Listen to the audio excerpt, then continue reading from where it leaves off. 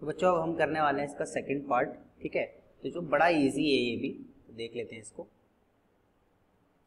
तो ये क्या कह रहा है, देखिए, ये कह रहा है भाई, एक काइट गिवन है मुझे, जो कि बी सी जो है बी सी क्या है?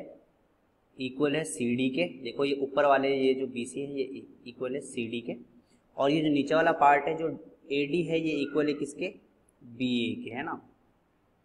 और आपको ई एफ़ जी क्या है? आपको मिड पॉइंट गिवन तो मुझे ये प्रूव करना है कि जो ई एफ़ जी है E F G is 90 degree angle E F G मतलब ये 90 डिग्री है, ये वाला पार्ट जो है, ये 90 डिग्री ये प्रूव करना है। तो बड़ा ईजी है तो मेरे को पहले कंस्ट्रक्ट करना पड़ेगा, है ना?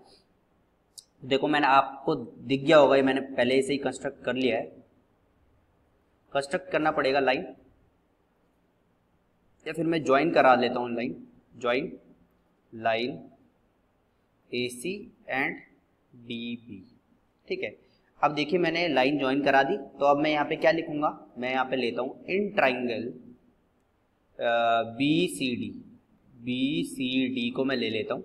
और यहाँ पे देखिए, जो मेरा ई E है एंड जो मेरा F है are mid point of C D and C B right ये देखिए सी डी और सी बी के मिड पॉइंट है ई एन एफ़ तो मैं ये बोल सकता हूँ कि जो मेरा ई e एफ़ होगा is parallel to D B right E F is parallel to D B और मैं ये बोल सकता हूँ कि भाई मेरा जो ई e एफ़ है is equals to half of D B right जो मेरा ई e एफ़ है, ये मेरा हाफ़ ऑफ़ डी बी हो जाएगा। तो बड़ा इजी हो गया मेरा तो ये, है ना? तो अब मैं ये बोल सकता हूँ कि जो मेरा ई e एफ़ होगा इस पैरेलल टू डी बी ठीक है? अब मैं यहाँ पे इसको पॉइंट को अलॉट कर देता हूँ। इस पॉइंट को मैं दे देता हूँ एम इसको दे देता हूँ ओ और इसको दे देता हूँ एन ठीक है? तो एम ओ एन ठीक है? अब यहाँ पे देखिए, बड़ा ही इंटरेस्टिंग है। जब मैंने इसको काटा तो ऑब्वियस ही बात है, ये बाइसेक्टर बना होगा, है ना? जब मैंने इसको काटा तो ये क्या है? बाइसेक्टर बना, ठीक है? तो मैं ये बोल सकता हूँ कि जो मेरा देखो, मैं यहाँ से इसको बाइसेक्ट किया, इसको यहाँ से बाइसेक्ट किया तो ये 90 डिग्री हो गया मेरे पे, ठीक है? और ये मुझे प्रूफ करना है कि 90 डिग्री ये मुझे प्रूफ करना है, ठीक है? तो देखिए, यहाँ पे क्या प्रॉब्लम आ गई? अब यहाँ पे मैं सॉल्व करता हूँ। तो अब यहाँ पे सॉल्व किया जाए। तो देखिए। अब यहाँ पे देखिए, ये वाला, देखो, ये वाला पार्ट देखना, ठीक है? ये ऐसा करके कुछ हो गया। मैं यहाँ पे डायग्राम बना लेता हूँ, ऐसे कर ठीक है? अब ये मेरे पे एम है, ये मेरे पे एफ़ है, ये मेरे पे एन है, ठीक है? और ये मेरे पे ओ है। तो मैं एक काम, देखो मैं ये कह सकता हूँ कि ये जो मेरा, क्योंकि ये ई एफ़ था पूरा तो मैं ये बोल नहीं सकता कि भाई जो एम एफ़ होगा, इस पैरेलल टू ये डी बी की जगह, देखो ये पूरा डी और ये बी था तो मैं इस एम एफ़ के जगह ओ एन नहीं लिख सकता। ओ एन की जगह। देखो M F is parallel to O N बोल सकता हूँ ना मैं? क्योंकि ये पूरा E F is parallel to D B था। तो मैं ये बोल सकता हूँ कि भाई जो एम एफ़ होगा, ये भी पैरल होगा ओ एन पे। तो देखिए तो मैं क्या करता हूँ? देखिए तो मैं लिखता हूँ एम ओ देखो, बहुत प्यार से सुनना। M O N angle M O N ये वाला एंगल ये वाला एंगल और ये वाला एंगल इक्वल होता है। आपको पता है ना? M O N plus angle M F N is equal to one eighty degree के बराबर होता है। अगर मैं ये ऐसा बनाऊँ तो देखिए ये दोनों एंगल क्या होते हैं? पैरेललोग्राम के अपोजिट एंगल्स ये वाला और ये वाला 180 के बराबर होते हैं। ये प्रॉपर्टीज़ आप, जब मैं रेक्टिलिनियर फिगर्स का चैप्टर कराऊँगा ना, उसमें बहुत अच्छे से मैंने डिटेल से सारे जितने भी फिगर्स हैं, उनके मैं प्रॉपर्टीज़ भी बताने वाला हूँ, ठीक है? तो बड़े मज़े में आपको जल्दी मिलने वाला है, बस इसके बाद ही। तो फिर देखेंगे उसको, है ना? तो देखिए, मैं इन दोनों का सम 180 लिख सकता हूँ, ये वाला और ये वाले का सम इसका और इसका। तो देखिए, ये कितना इजीली हो जाएगा मेरे पे, ठीक है?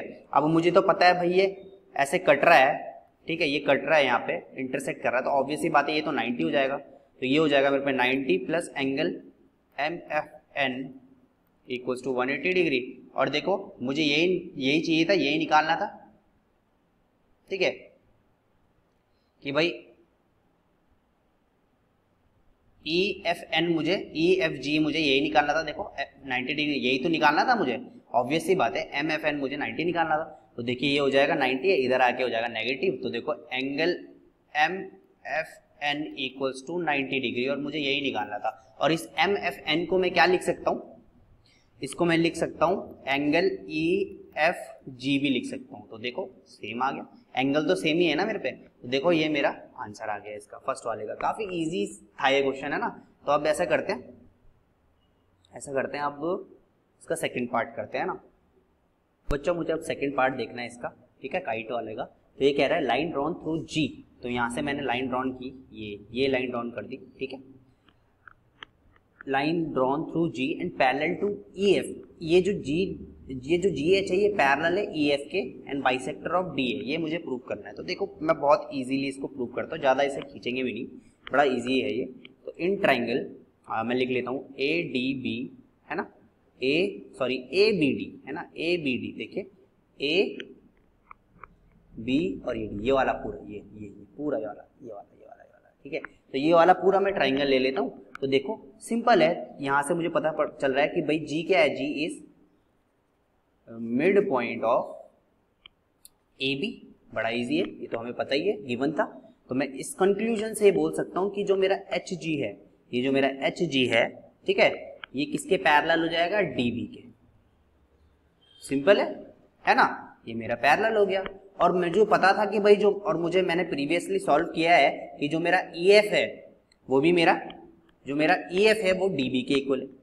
तो देखो प्रीवियसली मैंने ये सॉल्व किया था। कि जो मेरा ई एफ़ है, वो किसके पैरेलल है? डी बी के पैरेलल है। तो मैं ये इस कंक्लूजन से बोल सकता हूँ, ये मैंने प्रीवियस ऊपर सॉल्व किया था, इससे पहले ना। प्रीवियस में मैंने सॉल्व किया था कि जो मेरा ई एफ़ है, वो भी पैरेलल है डीबी के, और मेरा जो एच जी है, ये भी पैरेलल है किसके? डीबी के। तो मैं ये बोल सकता हूँ कि भाई जो मेरा एच जी है एच जी है जो मेरा, वो पैरल होगा मेरे किसके? डीबी के। डीबी के कह रहा हूँ मैं एच जी पैरल होगा ई एफ़ के, है ना? ये तो मैंने सॉल्व कर ही दिया। तो जो मेरा एच जी होगा, वो पैरल होगा ई एफ़ के ठीक है जी। बड़ा इजीली सॉल्व कर दिया हमने। तो मैं ये बोल सकता हूँ, मैं ये बोल सकता हूँ, इस पॉइंट से मैं ये बोल सकता हूँ कि जो मेरा एच है, ये मिड पॉइंट हो जाएगा मेरा डी ए का, है ना? तो ये जो मेरा एच है H is mid point of D A तो देखिए, ये मेरा एच क्या आ गया मिड पॉइंट आ गया। तो बड़ा इजीली मैंने सॉल्व कर दिया। डी ए का मेरा मिड पॉइंट आ गया एच तो मैं ये बोल सकता हूँ hence line drawn through G तो मैं बोल सकता हूँ कि जो लाइन ड्रॉन हुआ है जी से, वो पैरल है ई एफ़ के, ठीक है? तो इस कंक्लूजन से मैं ये बोल सकता हूँ, बड़ा इजी है। तो मैं बोल सकता हूँ hence line drawn through G and parallel to E F bisect D A ये पूरा का पूरा लिख लेना हेंस के साथ, ठीक है? तो ये भी हमारा सॉल्व हो गया। काफ़ी इजी था हमारा इलेवंथ क्वेश्चन भी। अब हम ट्वेल्थ में और लास्ट क्वेश्चन में इसके प्रोसीड करते हैं।